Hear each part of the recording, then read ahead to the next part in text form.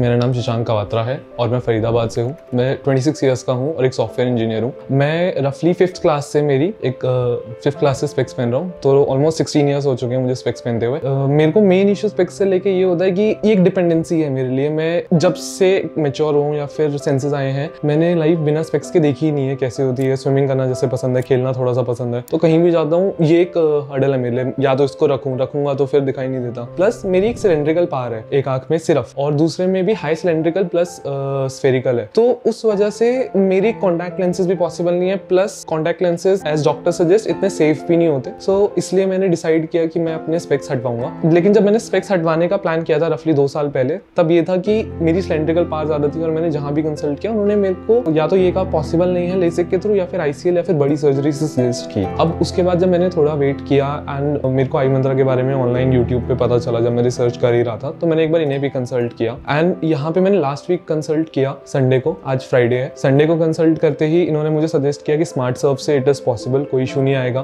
Power बिल्कुल हट जाएगा, मैंने वो करवाया। और आज मेरा फाइनल सर्जरी का डे है on Friday within five days everything was decided मेरे को एकदम इनिशियल डेट मिली, उसी पे करवा के। बाकी let's see hope for the best थोड़ा सा डर तो लग ही रहा है बट या थैंक यू